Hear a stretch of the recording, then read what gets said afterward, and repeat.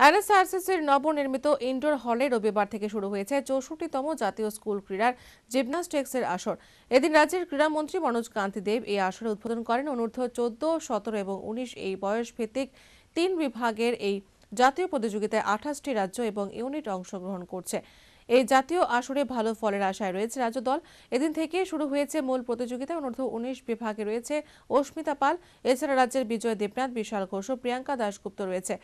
এদিন প্রতিযোগিতার উদ্বোধনী অনুষ্ঠানে বিধায়ক রতন চক্রবর্তী, ক্রীড়া সচিব সমরজিৎ ভৌমিক, রাজ্য ক্রীড়া পর্ষদ সচিব ডক্টর মানিক সাহা প্রমুখ উপস্থিত ছিলেন।